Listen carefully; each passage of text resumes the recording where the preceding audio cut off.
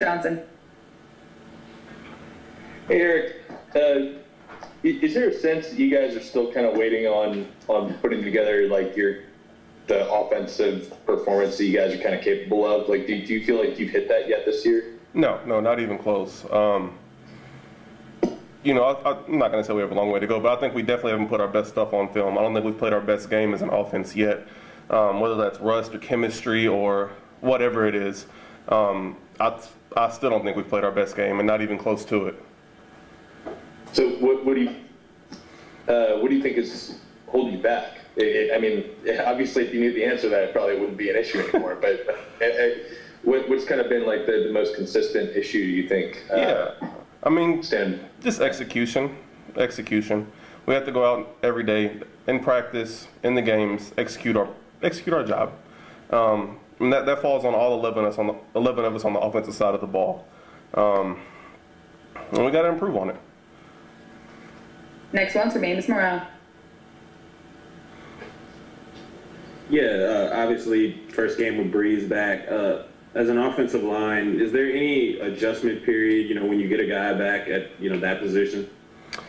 Um, I wouldn't say there there really was. I mean, Drew's been the quarterback here for what 16, 17 years now. The guys are used to him. The guys know him.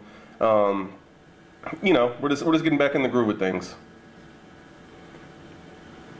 Next one's Amie Just. Ooh. Yeah, uh, Amos, you had a follow up. Go ahead. I'll just go after you. Okay. Um, Terron named to another Pro Bowl yesterday. Um, what's it like, you know, and Alvin too, and you know, five guys in total. What's it like playing with Terron and Alvin and all those guys? I mean, Terron's a great guy on and off the field. You know, he's a leader in the room. He's a great friend to have, and I couldn't be happier for him. You know, that's that's a big achievement.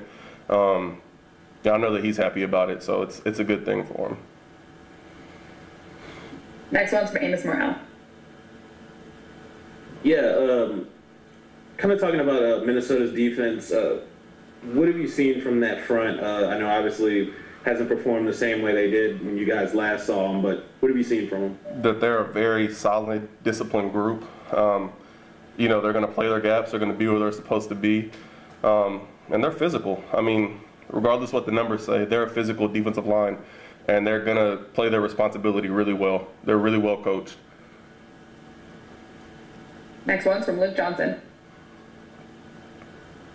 Erica, how big of a role have uh, Dan Roushar and uh, Brendan Nugent played and just keep, keeping you guys cohesive despite all the moving pieces you've had this year? Yeah. Um, well, first off, they're, just, they're two of the best O-line coaches in the game. Um, you know, whether we have injuries or COVID things going on, they've they've always gave us the next man up mentality and made sure that that next person in was was ready to go, that they're prepared. You know, they've been coaching everybody the same, whether you're a starter, whether you're a backup, whether you're the jumbo tight end. Um, you're getting coached the same every day. That way, that everybody is ready when it's their time to come. How do their styles work together? Um, they're they're they're opposite, but they're similar at the same time. Um, it's, it's an interesting dynamic. I wish I could give more into that, but I really don't have a, a great answer. They're, they're just both great coaches. That's all I can say.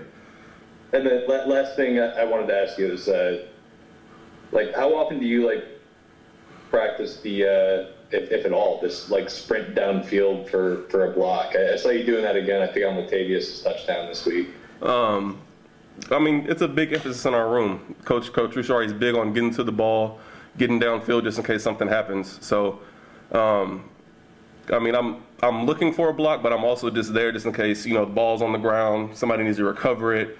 Um, so I wouldn't say that I practice it. It's, it's become a habit by now. Next one's Amie Just. Yeah, kind of piggybacking on an earlier question. Um, y'all's uh, run game last week wasn't what um, I know any of you wanted. Um, can you pinpoint uh, to anything um, in addition to the third downs that uh, was a catalyst for that? I would I would definitely say the biggest thing by far was the third downs. Um, I mean, it's hard to get all the runs or all the called runs that you want when you're one of 11 on third down and you're not really getting the chance to stay on the field and call those runs.